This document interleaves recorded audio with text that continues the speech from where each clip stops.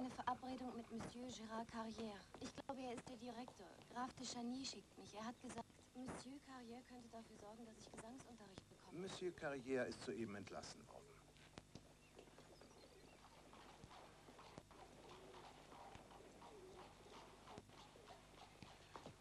Wo hat er denn die aufgelesen?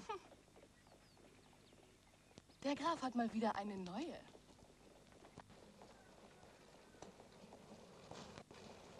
Schätzchen, wir sind neugierig. Wo hat der Graf de Chagny dich gefunden? Auf einem Jahrmarkt. Der schreckt vor nichts zurück. Ich glaube, er war unterwegs zu seinem Schloss. Und da hat er deine hübschen Beine gesehen. Nein, nein, er hat mich gehört, wie ich ein Volkslied gesungen habe. Oh, dann hat ihn eine hübsche Stimme betört. Ja. Und er hat dich gefragt, ob du Gesangsunterricht nehmen möchtest. Sind Sie alle seine Freundinnen? Das ist der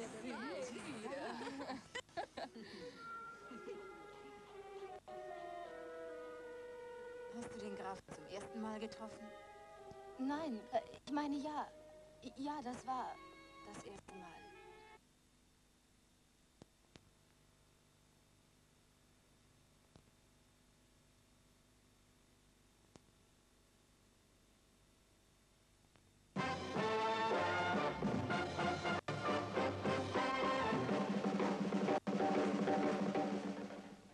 Weiter links, Mensch.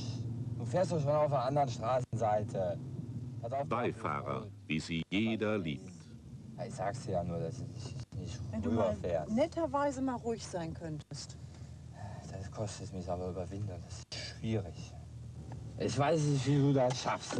Reicht's mir Nicht aber. alle Fahrer reagieren so resolut. Aber auch Liebesbeweise erzeugen nicht unbedingt den idealen Beifahrer. Ein nörgelnder Beifahrer stresst und ist dazu noch ein schlechtes Vorbild. Echt wahr? Sind wir endlich da? Ja, wenn der Papi mal ordentlich fahren würde, dann wären wir schon längst bei der Omi da. Dann lassen wir uns sehen. Aber der Mitfahrer kann sich auch nützlich machen. Was hast du denn? Aha. Der gehört mir. Wer sich in einer ihm unbekannten Stadt nicht auskennt, sollte sich auf den Orientierungssinn seines Beifahrers verlassen können. Behält der Kartenleser den Überblick, ist das Ziel schnell und sicher erreicht. So, jetzt müssen wir hier vorne an der Ampel rechts. Hier rechts ums Eck. Ja, richtig. Besonders in verkehrsreichen Innenstädten reden viele Beifahrer wie ein Wasserfall.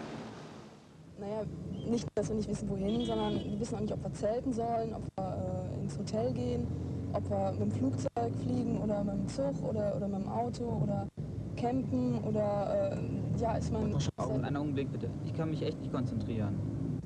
Auf einer langweiligen, monotonen Fahrt auf der Autobahn hält dagegen eine freundliche Unterhaltung wach und verkürzt die Zeit. Aber ist sehr schön, zwei Zimmer und als Student kann man es bezahlen. Ich job ja auch nebenbei. Noch ein Gedicht. Viele Fahrer sind erhitzt, wenn mal die Frau am Steuer sitzt. Besonders schnell hat er es satt, wenn er was getrunken hat. Nichts macht sie ihm recht, alles ist für ihn gleich schlecht. Er weiß alles besser und wird nun immer Kesser. Ganz vor Zorn entbrannt zwingt er sie zum Rand. Nun hat er das Sagen, will gleich alles wagen.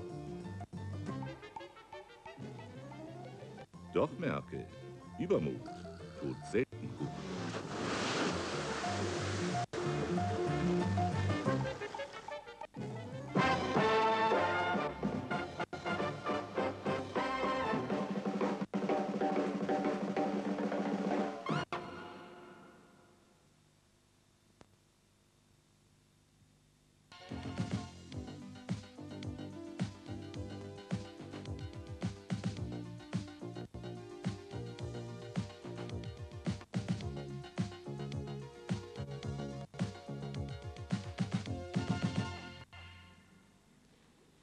Hallo zu unseren Tipps für Gymnastikliebhaber. Wenn es das auch geben soll, sportlich edel ist es nicht, sich